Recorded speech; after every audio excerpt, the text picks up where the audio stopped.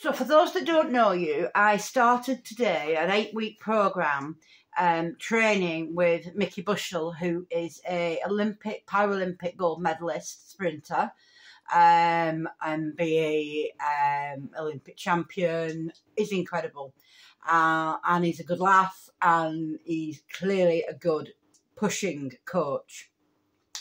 Um, so the training itself is funded, but I am self-funding the hotels and the travel. I'm going from Carlisle to Telford. That is a fair, a fair watch. Um, and so people have already been supporting me, and I am beyond grateful for the support. Um, this would have mean I was making some hard decisions financially to be able to do this training, um, and so that's fantastic.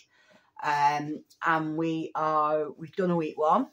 We did a session. Well, first of all, we had a coffee. Mickey picked me up from the station, took me to the hotel where the gym is. Uh, we had a long chat, target setting, what am I looking for, etc., etc., etc. the target we've set is to be under three hours on the Sky Half Marathon. um, and it, I did two hours forty on the Great North Run, so that should be possible.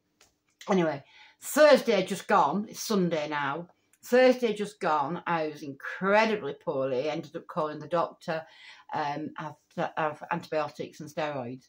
So uh, I mean, this weekend has not been easy. Um, the doctor did know I was going. He wasn't keen, but he did agree. Um, and Mickey didn't over push, but it was still hard. So we did that. We went into the gym um, and did a gym weight session in the gym. Um, and certainly that was some things I've not done before. Um, being on the floor, being on a weight bench, not done that. I'd only used machines before, so that was that was good. Um, and then I went off. I did too much, honestly, on my own, up and down the hills around Telford. Lovely cycle way, found a lovely little nature reserve. Um, got some nice bird song, all of that. Um, went to Tesco's, get some food, went to the hotel, early night. Um, and then today was a spin set group spin session, um, doing interval training, which was harder than I would have thought, looking on paper what we actually did. But yeah, it is, that was hard, and I can see that it's going to be hard, and he's going to push hard, but it's going to be good, and it's going to move me towards my targets. So that's been week one.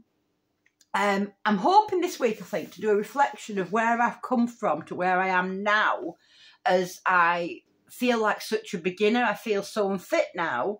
Um, I think it would be good if I can just kind of go back and maybe maybe show people where I've been in the last 18 months and even further back than that uh, and the progression to get to where I am today. I think that will explain a bit more about what's so exciting about what I'm doing now.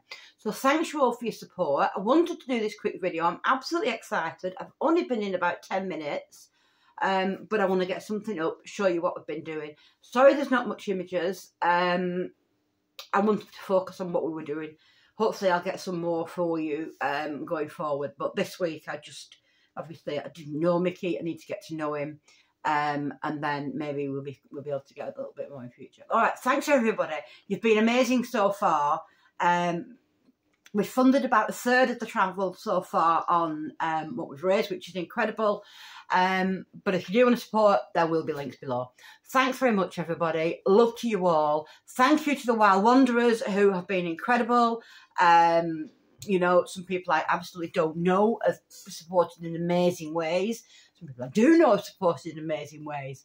Um, but thank you to everybody, Wild Wanderers, friends, or anybody else.